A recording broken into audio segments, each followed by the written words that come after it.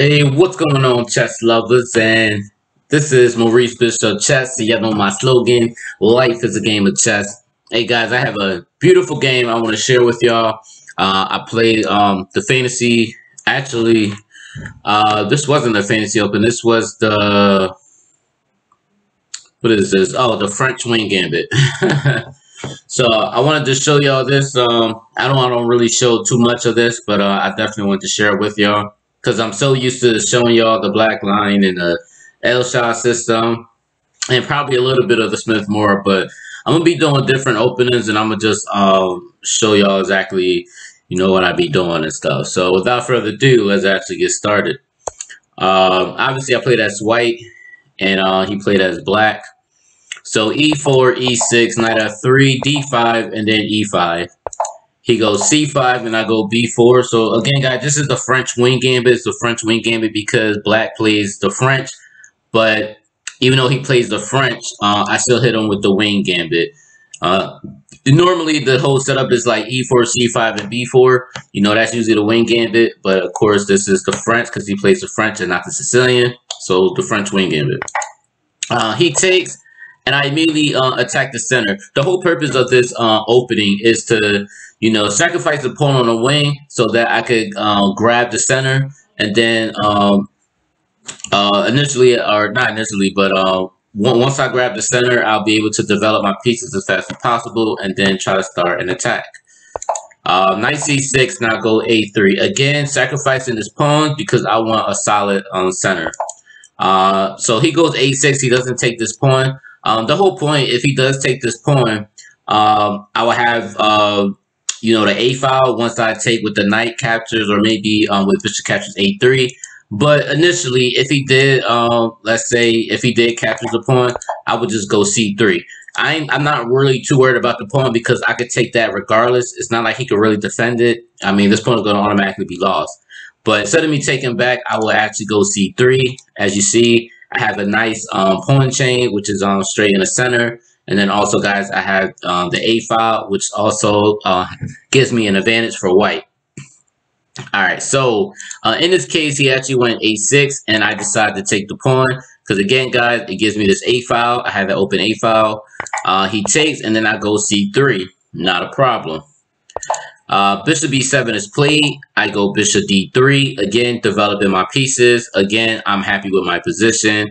You know, again, I still have the A file. You know, I developed my own second piece with bishop d3. Uh, he goes bishop d7, and I immediately develop my second piece with, or I said my second piece, my third piece with knight b to d2. The whole point of knight b to d2 because 90% uh, of the time, uh, your opponent's going to always go knight a5 to go knight b3 or maybe knight c4. And usually with knight d2, I'm going to have this here because I'm going to be ready to exchange um, this knight uh, for this knight that's on d2. You know, because leaving a knight on on c4 or maybe b3 is, you know, is, is going to cause some problems. So that's why I always go knight d2. So b5 is played, you know, he's just um, trying to get some space um, on the queen side and things like that. So I just castle king side. Knight a5. Again, this is what I'm talking about, guys. Usually when they come knight a5, they want to go knight c4. If he goes knight c4, I already have in my mind that I want to take on c4. So you're probably wondering like, okay, okay, this is where, you know, I get stuck, you know, when it comes to the middle game, I'm not sure what to do. Uh, well, uh, I go rook a2. Uh, I go rook a2, guys. This is kind of like a, I don't want to say a, a, a, waiting move type thing, but this is just in case if he goes knight b3, but with some other moves. Uh, not obviously, he can't go knight b3 automatically because I have the queen here. But eventually with rook a2, uh, it's a really good move because eventually I may want to go bishop b2, maybe go queen a1, you know, just to put more pressure on a file. So always remember that. Uh, but that's one of the reasons why I go rook a2. Uh, I, I kind of look at it as a prophylactic move, but uh, they may look at it as a waiting move, but it's really not a wait. Well, you could say it's a waiting move, but it's really not a waiting move because again, um, I may have opportunities to maybe double the rooks on the a, on the uh, a file. All right. Uh, knight c4 is played. I immediately go knight capture c4. Uh, like I told y'all, I said I was. Um, b capture c4, and I go bishop c2. Again, I'm happy with the position. I have the A file. Uh, he has an isolated pawn on the queen side. And again, with me having a rook on A2, uh, eventually, you know, once I develop my bishop, maybe I could go queen A1. Uh, or maybe put the rook on A1, you know, who knows. But um, this is the whole point of rook A2. Uh, I find it very useful to uh, leave this on here. So he goes A5. He just pushes down. Um, the reason I go A5 because, uh, again, um, he was only defending this pawn one time with the uh, rook on A8, but by him pushing it on A5, uh, he can actually defend uh, not only with the rook, but he could defend with the queen as well. Um, so in this case, I go G3. Uh, this is kind of like a, I don't know, I, I ain't gonna lie, guys. I, have been reading a lot of um, positional books and everything where like in positions like this, you know, uh, it's good to have the G3 point where you can go H4 at times because it looks good in the end game. It's like one of these end game principles. So I find myself um, doing uh, this a lot, you know, in positions like this. So, as a matter of fact, let's see if the engine thinks that I'm good on that. Yes, the engine even recommends me uh, with the G3. Uh, I see it a lot.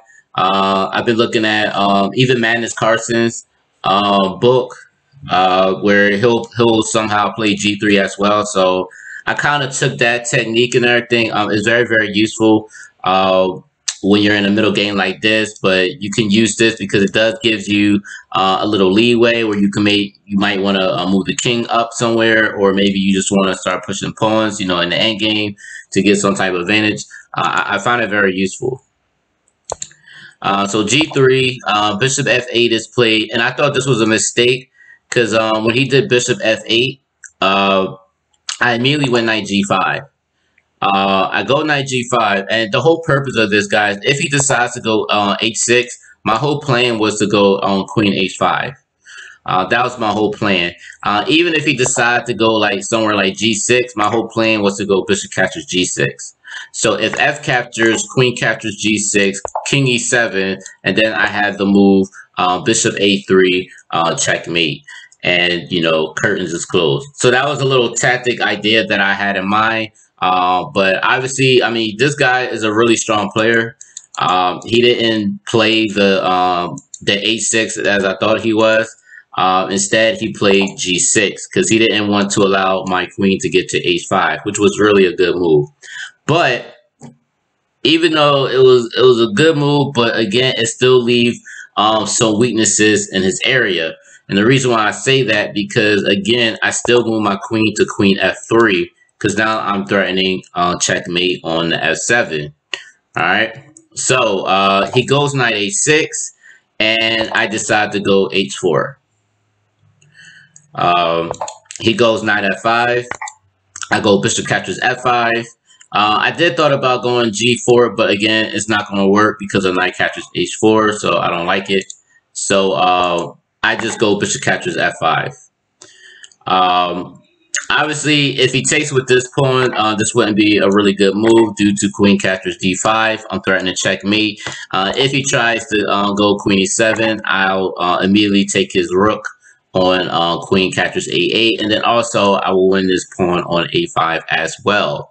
Um, but it's not even just that though, guys. Uh, another option that I do have is after this check, if he does block with the queen, then uh, this is really a one end game for me because once he take, now I have knight captures f7 check, where I'll be taking his rook, and again, uh, this pawn would be lost sooner or later. All right. So those are my ideas. So, and that's why I went bishop captures f5, but he took with the right pawn. He took with g captures f5. So uh, by him going g captures h5 now, or f5, uh, this pawn is not on g6 now. So what do I do? I go back to the weakness. I go back to queen h5, uh, hitting queen captures f7. Uh, so um, so obviously, guys, uh, he's really kind of he should he probably already know that he's kind of lost already because um, the only thing that he uh, did was actually queen e7, and then I hit him with bishop a3. Um, as you can see, uh, I'm pretty much threatening to win his queen. Uh, if he does go back to queen d8, queen captures f7 and checkmate. Uh, another thing is, uh, if he decided to maybe go queen b6, Uh, again, I, he still runs in the threat of queen captures f7. It's king d8. Um, you know, there's so many things I could do. Um, knight captures h7, where I'm also threatening um, bishop g5. Uh, and then maybe uh, knight f6, where I'm threatening mate as well. Uh, again, this is still uh, pretty nasty. Not only that, I do have moves like rook uh, b2, where I could control the b file. Uh, this is just really nasty stuff. All right. And then not only that, I'm threatening queen f6 uh, check, where I could potentially um, try to win a rook. Uh, but, you know, it's it, it's, a, it's a lot of threats, guys. It, it is a lot of threats. All right. But, of course, uh, he didn't do that. Um, so after queen h5, bishop a3, um, he knew that he was um, pretty much lost in his position, so he decided to take the the bishop, you know, give up his queen, and I go queen catches f7 check. Uh, king d8, rook catches uh, a3, bishop catches a3, knight catches e6 check, king c8, knight f4, rook f8, and then queen catches d5. And then, of course, my opponent resigned in his position due to the fact not only am I hitting uh, the rook on a8, but I'm also threatening e6 with a nice pass pawn. And then, of course, I still have an extra rook. So um, this is pretty much um, curtains um, in this game. All right.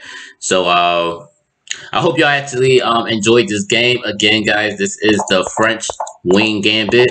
Uh, I don't really show too much of these games, but if you look back in a lot of my videos, I do have that. Uh, I probably will do a playlist uh, for this opening so that y'all can uh, look at it even more. Uh, but it's definitely um, a very uh, nice opening to learn because I still play it to this day. All right, so guys, if you like this video, make sure you like, share, comment. Let me know what you think. And also, guys, don't forget to hit the subscribe button. All right, guys, peace.